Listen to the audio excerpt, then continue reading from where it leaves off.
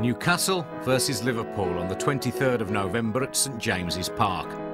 A match described by the Athletics News as one of the most memorable games ever witnessed on the banks of the Tyne. Liverpool came to St James's Park as league champions. An important part of this film is the evidence it presents of a previously unknown stand on the Barrack Road side of the ground. This was demolished in 1905.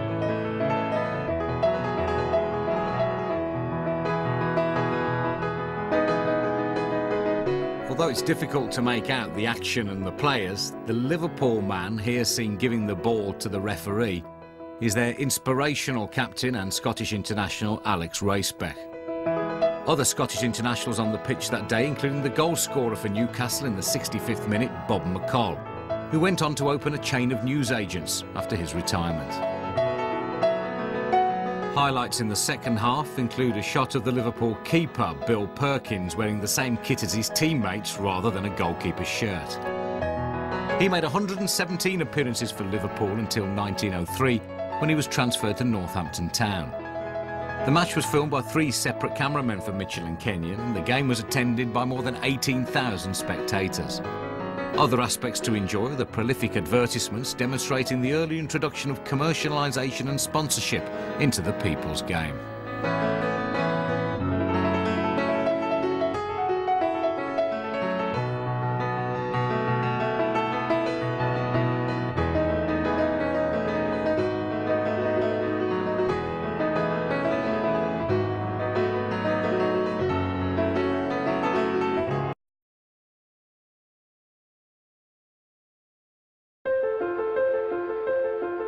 Burnley v Manchester United was filmed on the 6th of December 1902 and is perhaps one of the poorest films in the collection in terms of its photographic quality.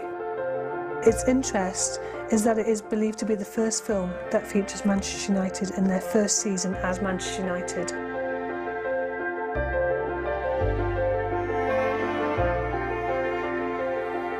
United, who were then better known as Newton Heath, who are now at this point in the second division when they played Burnley in December 1902. No record of the film showing has been found, possibly due to the fact of the poor quality of the material, but also that the home team, in this case Burnley, lost 2-0 with goals by Pegg for Manchester United. Less than 2,000 people witnessed this match at Turf Moor in Burnley and shows the inauspicious beginnings to arguably the world's most famous football club.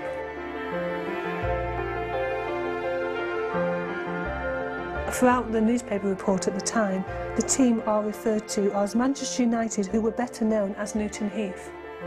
And the commentators often call them the United, as opposed to Manchester United.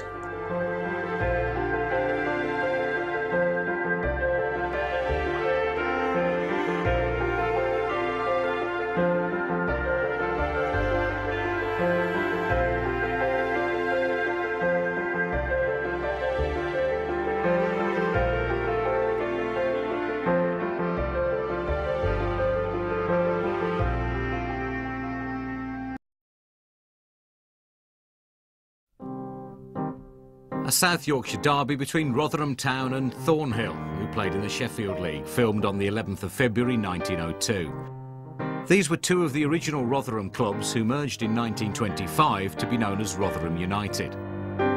Rotherham Town are in the strip with the white half on the left, Thornhill have the white half on the right.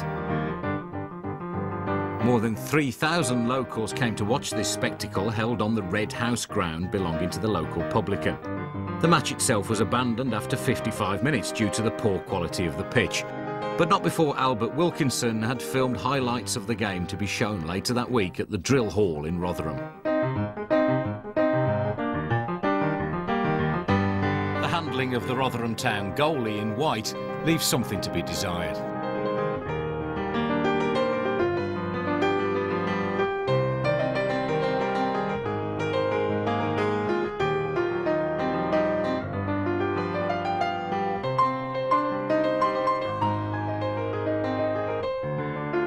The spectators, their face still covered in pit dirt, line up alongside Albert Wilkinson, the showman exhibitor, and smile for the camera. The crowd are entirely male. and without exception they're wearing flat caps and working gear, in complete contrast to the elegance of the sporting crowds at cricket and athletic events.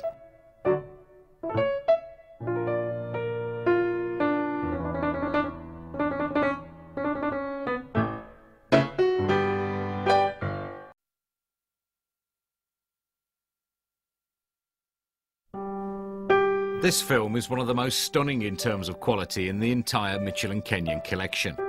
It opens with a magnificent one-minute pan shot of the crowd at Bramall Lane where a sea of faces stare back towards the camera. No woman's present in the crowd, possibly as this was the standing area. The scene conjures up J.B. Priestley's description of the terraces as a place where you became a member of a new community, all brothers together for an hour and a half.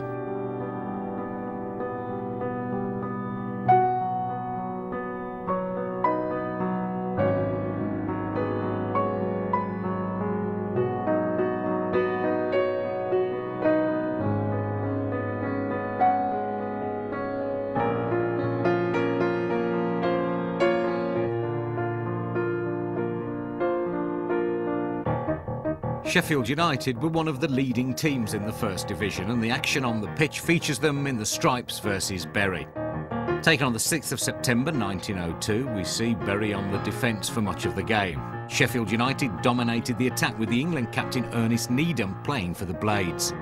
Bury were poor with the Athletic News reporting, I cannot say much of the Bury attack, it was like a patchwork quilt without the design.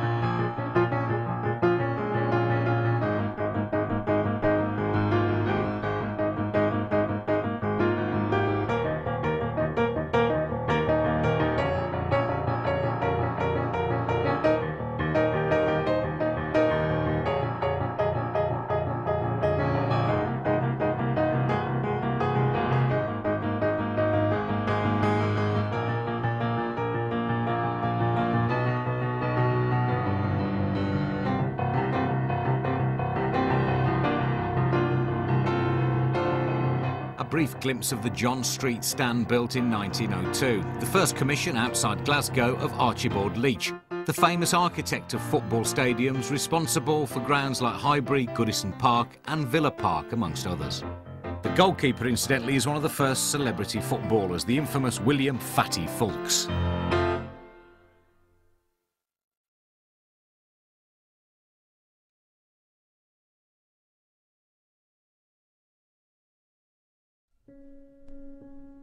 The earliest example of a Merseyside derby on film, shot on the 27th of September 1902 at Goodison Park. The crowd numbered 40,000. The visual quality is poor, but all sides of this magnificent ground can be seen. Perkins was again in goal for Liverpool, with Raisbeck as captain. Everton won the game three goals to one, and the reporter for the Athletics News commentated that much joy and what handshaking greeted each goal. The Everton winger Sharp, with his clever wing play, was man of the match. He also played first-class cricket for Lancashire.